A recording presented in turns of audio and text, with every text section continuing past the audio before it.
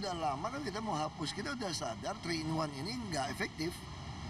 Ada joki-joki gitu loh. Cuma kan waktu itu kita berpikir tunggu ada IRP baru.